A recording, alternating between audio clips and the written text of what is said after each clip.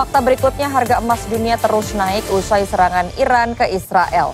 Sejumlah warga memilih menjual saat harganya sedang melambung. Walau begitu tidak sedikit juga banyak yang mulai membeli sebagai investasi. Apalagi harga emas hampir dipastikan akan naik terus ke depannya.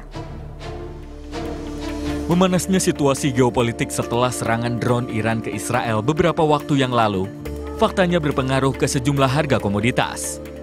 Salah satunya harga emas dunia. Dipicu oleh ketegangan di Timur Tengah dan kecilnya potensi penurunan suku bunga di Amerika Serikat, harga emas dunia naik pada Selasa dini hari. Sejak terjadinya serangan tersebut, harga emas naik sekitar 0,7 persen atau kini harga per gramnya mencapai Rp1.300.000. Per hari ini itu udah 1,325, berarti 1 juta 325 ribu gitu. Nah kenaikan paling tinggi itu kemarin terakhir ketika ada gencatan senjata antara Iran dan Israel ya. Sebenarnya memang kondisi geopolitik tuh berpengaruh banget. Nggak cuma yang serangan pertama Israel eh, Iran ke Israel ini, yang sebelumnya tuh bulan berapa? Bulan apa itu ya?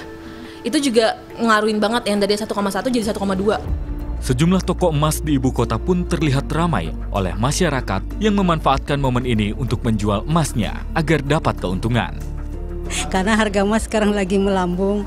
Jadi saya jual aja dulu. Jauh lah saya beli waktu tahun 2004 apa 2005 dulu saya beli sejuta 300 sekarang saya jual berat 7,25 dapat uangnya hampir 6 juta. Karena e, momennya sih lagi tinggi harganya. Waktu beli sih lumayan nggak semahal ini. Karena udah simpan kurang lebih 4 tahun lebih menyimpannya waktu beli sih nggak nggak setinggi ini lumayan dari harga yang 3 gram di bawah 3 eh, pas dijual nih di atas 3 juta lebih.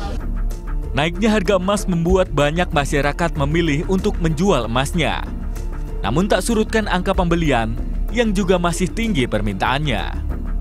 Yang jual banyak tapi yang beli juga banyak. Aku pikir habis libur lebaran ini tuh nggak terlalu banyak yang bakalan beli gitu kan karena harga tinggi banget. Kita pun sebagai penjual itu gimana nih jualnya? gitu kan. Ternyata pas kita kemarin baru start masuk di hari Selasa itu penjualan lumayan tinggi. Aku baru masuk pagi aja itu ada pemesanan 1,3 kg di Cirebon, harga emas perhiasan dengan kadar 70% dijual Rp940.000 per gramnya.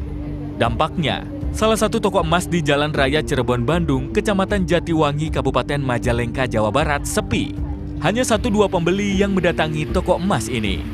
Kenaikan emas ini berdampak pada penjualan emas perhiasan menurun dibanding hari biasanya. Ya dikarenakan kan ekonominya lagi gini, terus yang konsumen kan beli kadang-kadang kaget tuh harga segini, kemarin segini, naik segini ya gimana? Kita juga kan eh, dari sananya naik, otomatis kan kita juga ya pasti naikin harganya. Sementara itu meski pembelian emas terbilang sepi, ada juga warga yang tetap membeli emas untuk tabungan atau investasi. Ya itu kan belinya sedikit-sedikit mau nabung karena kalau punya kebutuhan yang gede itu mau yang mau dijual gitu maksudnya tuh. Buat investasi berarti ini mas? Ya iyalah. Meski lagi naik ini nggak apa-apa? Ya nggak apa-apa. Serangan Iran ke Israel akhir pekan lalu punya dampak ke bidang ekonomi. Selain harga minyak yang melambung, sejumlah komoditi lainnya juga terdampak, termasuk emas. Kemudian eh, eskalasi tentu eh, meningkatkan ketidakpastian dan tentu eh, yang harus kita mitigasi adalah beralihnya aset ke safe haven dalam hal ini eh, US dollar, emas, nikel juga mengalami kenaikan.